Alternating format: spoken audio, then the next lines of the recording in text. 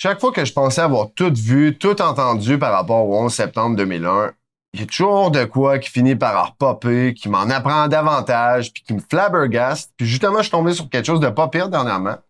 En fait, ça s'est passé le, jour carrément après le 11 septembre, où ce que le, le lead anchor de ABC News, qui s'appelle Peter Jennings, a demandé une question qui n'était pas supposé demander.